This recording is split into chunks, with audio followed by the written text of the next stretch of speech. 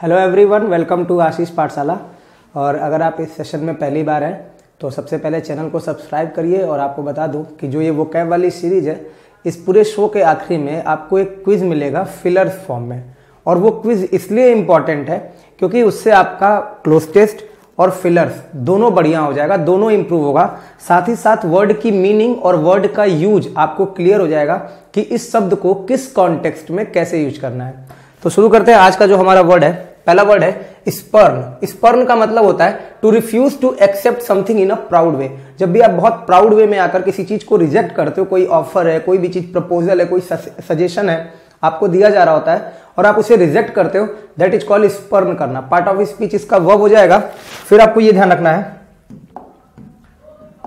Synonym इसके तौर पे रिपीडिएट टर्न डाउन बहुत बढ़िया वर्ड है और ये बहुत ज़्यादा पूछा जाता है। स्कॉर्न और रिबफ चारों वर्ड अच्छे वर्ड है। रिपीडिएट मुझे लग रहा है शायद इतनी जल्दी नहीं मिलेगा। बाकी ये आपका पूछा जाने वाला है स्कॉर्न और रिबफ क्लियर है? अगर आप एग्ज़ाम्पल देख लो तो he spurn my offers of help तो उसने क्या कर दिया? स्पर्न कर दिया रिजेक्ट कर दिया, जो मेरे हेल्प का ऑफ़र था, है ना? My offers of help next word है हमारे पास क्वारंटीन क्वारंटीन का मतलब होता है किसी पर्सन या एनिमल को लोगों से अलग करके कुछ समय के लिए रखना, ताकि वो जो डिज़ीज़ लेकर चल रहे हैं, वो किसी और तक ना जाए। आप इस समय देख रहे हो कोरोना वायरस एक काफ़ी पॉपुलर डिज़ीज़ और पॉपुलर नाम इस समय चल रहा है चारों तरफ़। तो काफ़ी लोग ऐसे हैं, उनको क्या किया जा रहा है इस समय? क्वारंटाइन किया जा रहा है। ये नाउन भी है और वर्ब भी है। अभी तो मैंने यहाँ पे वर्ब की तरह यूज़ किया है, बाकी ये नाउन की तरह भी यूज़ हो सकता है। हर शब्द का पार्ट ऑफ़ स्पीच जानना बहुत ज़रूरी है। अगर आप इसके सिनोनिम के तौर पे देखो तो सेग्रीगेट करना, अलग करना। अगर इसका नाउन फॉर्म देखोगे तो सेग्रीगेशन सेक्ल्यूड करना डिटेन करना और आइसोलेट करना। और इन सब का नाउन फॉर्म बन जाएगा आइसोलेशन डिटेनेशन है ना? डिटेंशन और सिक्लूजन एग्ज़ाम्पल देख लो. The hospital quarantine the infected patients hospital ने क्या कर दिया? क्वेरेंटाइन कर दिया. वर्ब की तरह यूज़ किया. वर्ब की second form past indefinite tense hospital ने क्वारंटाइन कर दिया. इन्फेक्टेड पेशेंट्स जितने भी थे कोरोना वायरस से जो भी इन्फेक्टेड थे, उन सबको एक जगह पर ले जाके रख दिया. तो ये हमारा आज का दूसरा वर्ड था.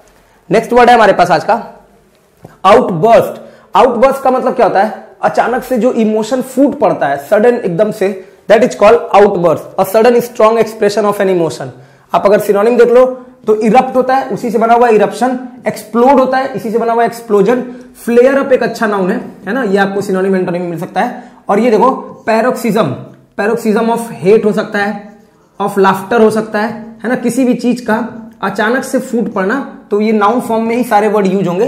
पार्ट ऑफ़ स्पीच इसका नाउन ही है.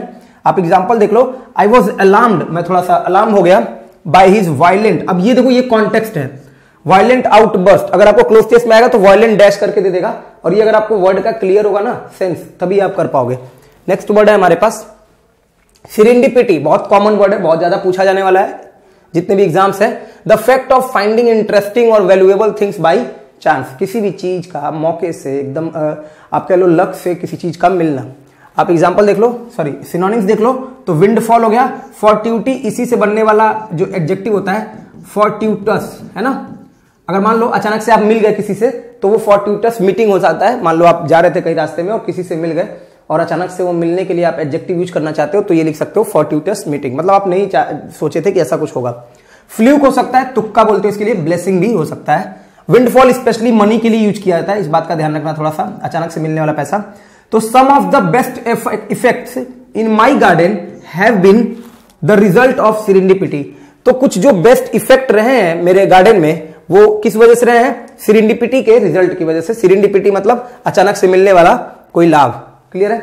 चलो नेक्स्ट वर्ड है हमारे पास इम्पिकेबल इम्पिकेबल का मतलब होता है बिना मिस्टेक के, बिना फॉल्ट के, यानी कि परफेक्ट क्लियर अगर आप सिनोनिम देख लो तो एक वर्ड है इमेकुलेट फॉल्टलेस का मतलब बिना फॉल्ट का फ्लॉलेस का मतलब बिना फ्लॉ का स्टेनलेस मतलब बिना स्टेन का। क्लियर इसमें से जो ये वाला वर्ड है ना इमाकुलेट एक तो याद रखना ये परफेक्ट वाले सेंस में होगा, और एक होता है स्पॉटलेस स्पॉटलेस मतलब बिना दाग धब्बों का, है ना? कोई ड्रेस है तो आप यूज़ कर सकते हो परफॉर्मेंस है तो उसके लिए भी यूज़ कर सकते हो इमेकुलेट एग्ज़ाम्पल देखो she has taught her children impeccable manners अब ये कॉन्टेक्स्ट है है ना? ये कॉन्टेक्स्ट है इम्पेकेबल मैनर्स अब ये इस तरह का क्लोज टेस्ट आ गया, भरने के लिए डैश मैनर्स तो आप सोचते रह जाओगे, है ना? अगर ये कॉन्टेक्स्ट आपको पता होगा तो बहुत आसानी से कर ले जाओगे. इम्पेकेबल मैनर्स मतलब उसका स्टैंडर्ड है, उसमें कोई गलती नहीं है. अगला वर्ड है हमारे पास कॉन्फर करना। कॉन्फर का मतलब होता है to give somebody an award और यूनिवर्सिटी डिग्री इस तरह की चीज़ें प्रदान करना। कॉन्फर का दो मतलब होता है, एक मतलब और होता है to discuss something to discuss है ना?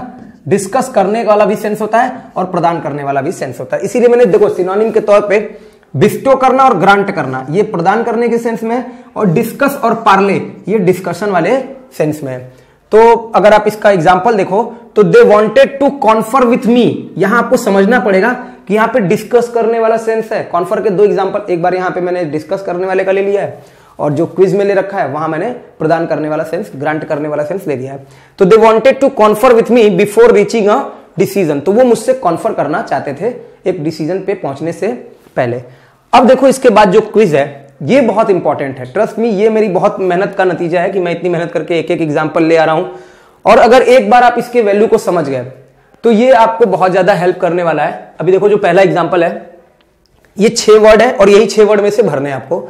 Her comments provoked and dash of anger from the boss अब ये जो बनने वाला है ना, ये पूरा कॉन्टेक्स्ट है। एंड डैश ऑफ़ एंगर और यहाँ पे बन पाएगा एन आउट ब्रस्ट है ना? अचानक से जो इमोशन फूल पड़ता है तो an outburst of anger from the boss उसके कमेंट ने प्रवोक कर दिया, जिसकी वजह से उसके बॉस से क्या निकल पड़ा? फूट पड़ा गुस्सा। His return English is dash अब देखो, यहाँ पे हमें जो चाहिए, वो एडजेक्टिव चाहिए, क्योंकि ये लिंकिंग वर्ब है और मेन वर्ब का काम करेगा। हमें एडजेक्टिव चाहिए। तो देखो, अगर एडजेक्टिव के तौर पे देखोगे तो आपके पास एक वर्ड है इमेकुलेट और यही बन पाएगा। इमेकुलेट है ना? मतलब एकदम परफेक्ट उसकी रिटर्न इंग्लिश कैसी है? एकदम परफेक्ट है। इट इज़ डैश अब यहाँ पे आपको भरना है। It is dash when you find some money in the box which you have not use for two years तो ये क्या है? सिरिंडिपिटी है। यही तो फैक्ट है। यही सिरिंडिपिटी है जब आप पैसा पाते हो और उस बॉक्स में जो आपने दो साल से यूज़ नहीं किया होता है। नेक्स्ट हमारे पास तीन है। देखो, Tonu will dash everything except chicken अब देखो, टोनू विल लगाए तो वर्ब चाहिए। अब जरा सोचो एक बार। वर्ब होगा तो हमारे पास वर्ब स्पर्न है कॉन्फर है और कोई वर्ब है नहीं। अब बताओ, एक क्वेरेंटाइन को बताया था, लेकिन इन दो सेंस में कोई मतलब बनेगा नहीं कि टोनू डिस्कस करेगा या टोनू जो है क्वेरेंटाइन कर लेगा। तो स्पर्न का मतलब रिजेक्ट करना और इसीलिए हो जाएगा यहाँ पे, टोनू विल स्पर्न वो हर चीज़ रिजेक्ट कर देगा सिवाय चिकन के। नेक्स्ट है an honorary degree was dash on him अभी देखो कॉन्फर का एक मतलब मैंने बताया डिस्कस करना, यहाँ पे हो जाएगा कॉन्फर वह भी चाहिए वी लगा देना वॉज़ कॉन्फर्ड ऑन हिम और इसके साथ ऑन लगाना, ये बहुत ध्यान रखना बाय द यूनिवर्सिटी नेक्स्ट है हमारे पास the worker was dash for five days and directed to wear a mask अभी कोई भी आ रहा होगा तो उससे उसे क्या किया जा रहा है इस समय? क्वारंटाइन किया जा रहा है। और इसीलिए हमारे पास एक ही वर्ड बच्चा रहा है, ये वाला। इसका वी थ्री लगा देना। द वर्कर वॉज़ क्वारंटाइंड है ना? डी लगा दोगे केवल इसमें तो वी थ्री बन जाएगा। For five days and directed to wear a mask उम्मीद है कि समझ में भी आया होगा, बहुत ही हेल्पफुल भी होगा। अगर आपको सेशन बढ़िया लग रहा हो तो एक बार प्यारा सा एक कमेंट ज़रूर नीचे लिख कर बता दो कि कैसा है। पीडीएफ आपको टेलीग्राम चैनल पे मिल जाएगा, उसका लिंक भी डिस्क्रिप्शन बॉक्स में दिया होगा। अगर आपको वास्तव में ये मदद कर रहा है तो प्लीज़ ज़्यादा से ज़्यादा लोगों के पास शेयर करो लाइक करो सब्सक्राइब करो। आते रहो, देखते रहो, आशीष पाठशाला पे बने रहो। कल के शो में फिर मिलेंगे, तब तक के लिए बहुत बहुत धन्यवाद।